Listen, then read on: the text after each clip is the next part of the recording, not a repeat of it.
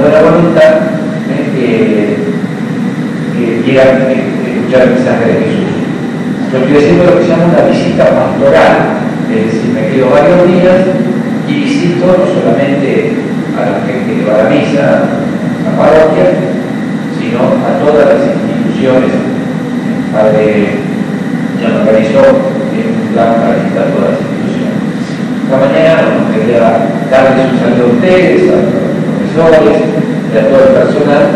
Eh, y no quiero aburrirlos mucho, a ser muy breve. Le quería decir tres cositas, tres cosas eh, que a mi modo de ver son esenciales para adolescentes, para poco, quizás para todos.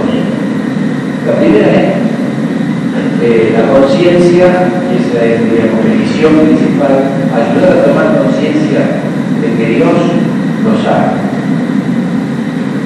Algo que parece eh, obvio o a veces no tanto, ¿sí? es nuestra convicción. Dios nos ama tanto que mandó a su Hijo Jesús para que se hiciera uno de nosotros, muriera por nosotros y así nos construyera la salvación. Eh, entonces, esa certeza básica es lo que después puede dar esperanza y sentido a todo lo que vamos haciendo en la vida. Saber que Dios nos ama, que no nos deja solos y que nos acompaña en la existencia. Eso es lo primero y fundamental. Lo segundo, un mensaje muy directo a ustedes, eh, porque para mí es mi mayor preocupación respecto a los jóvenes y que es quiéranse y no, dejen, no se dejen engañar por la droga.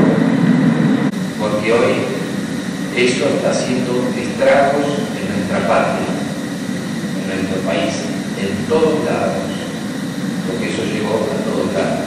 Ustedes saben que la droga es un, un laberinto ¿eh? en el que se entra y no se sabe más. No se sabe más. Estamos gestionando por una institución que está de Brasil, pero que está en este momento en Anfunes, para abrir un centro de recuperación.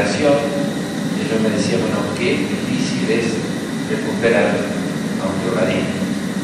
Pero la droga, ustedes saben, eh, viene precedida por otras adicciones, como es el alcohol. El alcohol es la puerta de entrada para la droga.